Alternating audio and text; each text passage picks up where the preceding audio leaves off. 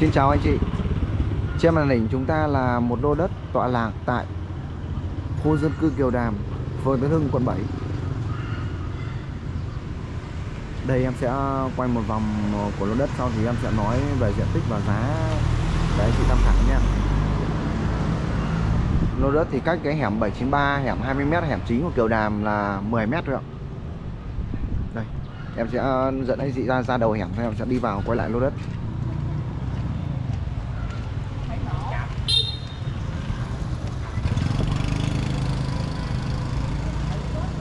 Từ vị trí này chúng ta sẽ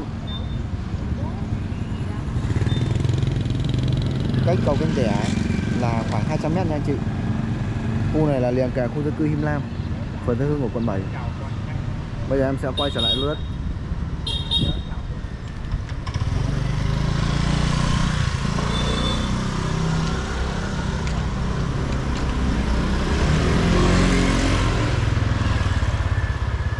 lô đất có các thông tin cơ bản như sau. Bề ngang của lô đất là 4 mét rưỡi và bề sâu là 32 mét. Diện tích được công nhận là 132.5 mét vuông nha anh chị. Dạ. giá của lô đất đang được chào bán là 21 tỷ đồng.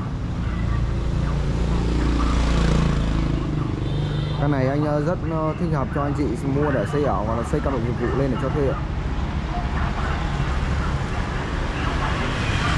Khu Kiều Đàm ờ, thì cách lô tên mét lô tên mắt của quận 7 là khoảng 500 mét nha. Cái quận nhất đi vào chợ Bến Thành là hết khoảng 15 phút ạ.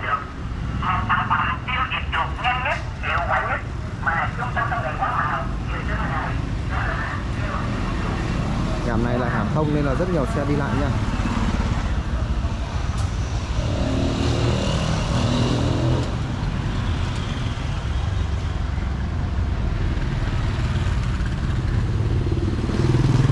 Chị ờ, có nhu cầu quan tâm lối này thì liên hệ với em theo số điện thoại là 0909 114 986 em sẽ gửi hình ảnh sổ sách cho mình để mình tham khảo nha dạ.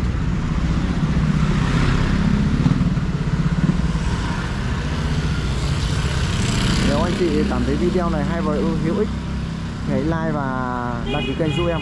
Cảm ơn anh chị đã coi video. Hẹn gặp lại anh chị ở những video tiếp theo. Em xin phép đóng máy đây ạ.